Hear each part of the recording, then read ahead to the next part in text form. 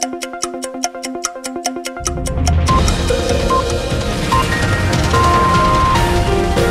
są wiadomości Radia Szczecin. Uszkodzone systemy łączności i tegoroczna wyprawa przez Atlantyk odwołana. Aleksander Doba po wypadku wycofuje się z samotnego rejsu przez Atlantyk. Zdecydowały sprawy techniczne. Kajakarz z Polic przegrał z silnymi falami Atlantyku. Wiatr przewrócił jego kajak i wyrzucił podróżnika z pokładu. Kajak wylądował na brzegu półwyspu Sandy Hook, który zamyka Zatokę Nowojorską. Doba jest cały i zdrowy. Trzecia transatlantycka samotna podróż Aleksandra Doby oficjalnie rozpoczęła się w niedzielę.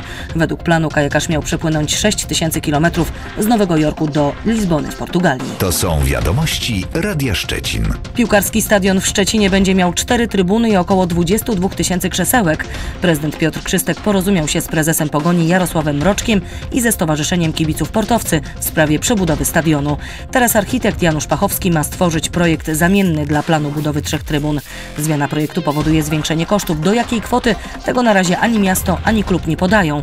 Projekt przebudowy z trzema trybunami miał kosztować 150 milionów złotych. Wszystkie strony deklarują, że prace zakończą się do 2020 roku. Więcej na radioszczecin.pl. Energiczna i swobodna gra młodych zawodników to recepta na zwycięstwo z Niemcami. Tak było obrońca Manchesteru United podpowiada polskiej kadrze przed Mistrzostwami Europy. Gary Pallister odniósł się w ten sposób do słów swojego kolegi Garego Linekera, że piłka nożna to taka gra, w której 22 mężczyzn biega za piłką, a na końcu i tak wygrywają Niemcy. Dodajmy, że Euro 2016 we Francji rozpocznie się już za tydzień, finał 10 lipca, a Gary Pallister pojawił się w Szczecinie w związku z promowaniem marki Gulf, producenta paliw i olejów. Pogoda w Radiu Szczecin.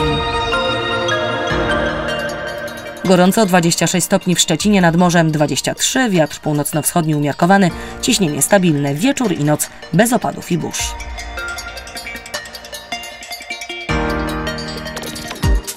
Lista przebojów Radia Szczecin. Ale upał, witajcie, zapraszamy na upalne kolejne notowanie listy przebojów Radia Szczecin. Słyszymy się dzisiaj po 20. No patrz jak zaskoczyła Sylwia Grzeszczak. Całkiem nowa jej piosenka. Nieźle, nieźle. Już na liście. No i będziemy mieli... Ale to było do przewidzenia. Zdecydowanie tak. I będziemy mieli także dużo nowych e, propozycji, między innymi Clean Bandit, nowy singiel. Od 20 lista przebojów Radia Szczecin, wtedy odliczymy 30 najważniejszych utworów tygodnia, a po 22 domówka, na którą też Was bardzo serdecznie zapraszamy, no tam będzie na pewno tanecznie. Cześć!